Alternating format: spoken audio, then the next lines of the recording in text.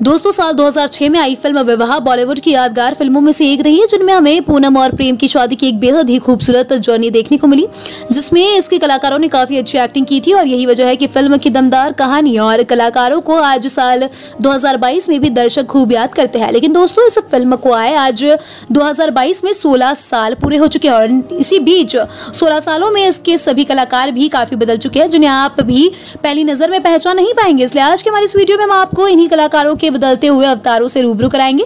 तो चलिए बिना किसी देरी के करते हैं वीडियो की शुरुआत और जानते हैं नंबर एक आलोकनाथ।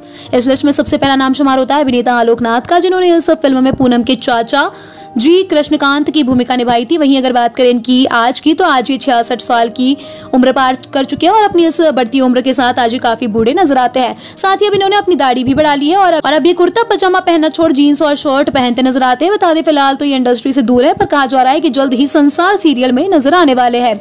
नंबर दो, लता सबरवाल। फ़िल्म में प्रेम की भाभी और पूनम की जुठानी भावना के किरदार को पर्दे पर निभाया था। लता सब्रवाल ने, जो कि इस फ़िल्म में काफ़ी ज़्यादा खूबसूरत नज़र आई थी।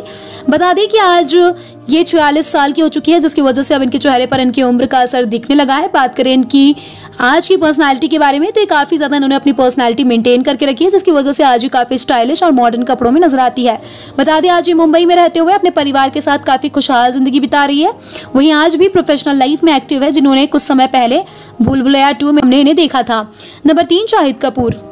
लिस्ट में नंबर तीन पर नाम शुमार है शाहिद कपूर का, जिन्होंने फ़िल्म में प्रेम के किरदार में संस्कारी और आदर्श बेटी की भूमिका निभाई थी। बात करें इनकी आज की तो बता दें कि फ़िल्म में शूट, बूट और सिंपल शर्ट पैंट में नज़र आने वाले शाहिद कपूर आज अपनी इकतालीस साल की उम्र पार कर चुके हैं, जिसकी वजह से ये भी अभी थोड़े से बूढ़े नज़र आते हैं। इसके साथ ही आज पहले से काफ़ी ज़्यादा ट्रेंडी और स्टाइलिश कपड़े पहनते हैं, जिसमें ये पहली की तरह ही क्यूट नहीं, बल्कि काफ़ी ज़्यादा डैशिंग नज़र आते हैं। और उनकी पर्सनालिटी से आज इन्हें उन्हें लाखों करोड़ों लोगों का दिल जीत चुका है। वहीं आपको बता दें, आज ये दो बच्चों के पिता भी बन चुके हैं। नंबर चार, समीर सोनी। लिस्ट में एक नाम समीर सोनी का भी शुमार है, जो कि इस फ़िल्म में प्रेम के बड़े भाई के रूप में नज़र आते हैं।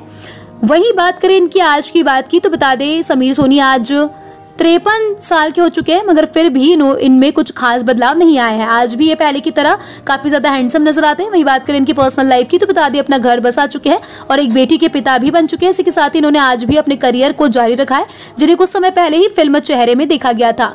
नंबर पाँच, अमृता राव। फ़िल्म में पूनम के सादगी और मासूमियत भरे अंदाज को पर्दे पर निभाने वाली अभिनेत्री है अमृता राव, जिन्होंने इस फ़िल्म में अपनी एक्टिंग और खूबसूरती से लोगों का खूब दिल जीता था। वही बात करें इनके आज की तो बता दें आज इकतालीस साल की हो चुकी है, पर इनकी खूबसूरती में आज भी कोई कमी नहीं आई है। आज भी ये पहले की तरह ही सुंदर है, पर इनका स्टाइल ज़रूर काफ़ी बदल चुका है, इसलिए अब ये काफ़ी ज़्यादा मॉडर्न हो चुकी है। वही अगर बात करें इनकी पर्सनल लाइफ की तो बता दें इन्होंने बीते सालों में अर्जी अनमोल से शादी कर ली थी और एक बेटी की मम्मी बन चुकी है। इसी के साथ ही बात करें इनकी प्रोफेशनल लाइफ की तो ये समय से इंडस्ट्री से दूर है, जिन्होंने साल 2019 में ठाकरे फ़िल्म में हमने इन्हें देखा था। नंबर छह अमृता प्रकाश। लिस्ट में आखिरी कड़ी में नाम शुमार होता है अमृता प्रकाश का, जो कि फ़िल्म में छोटी के रूप में सूट, सलवार और दो चोटी बनाए हुए बेहद ही क्यूट सी नज़र आई थी। वही बात करें इनकी आज की तो बता दें आज अमृता प्रकाश पैंतीस साल की हो चुकी है, जिसकी वजह से ये पहले की तरह और भी ज़्यादा पहले से खूबसूरत लगने लगी इनके रंग से लेकर इनका स्टाइल।